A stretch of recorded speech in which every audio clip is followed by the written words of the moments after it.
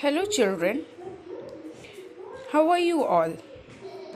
Today we are going to learn the lesson number one of your chapter English, Hindi, and Roman counting. In this chapter, you will find Hindi counting, English counting, as well as Roman counting. So, Roman counting in this chapter, you will also see the some of the rules of writing the Roman numerals as the heading will be some important rules for writing Roman numerals. And you will also see that there are some limitations of writing a Roman numeral. Here we are sending you a video link. So please see the video very carefully and you will understand the rules of writing the Roman number and how we can read and write larger Roman numerals. Thank you very much and keep safe.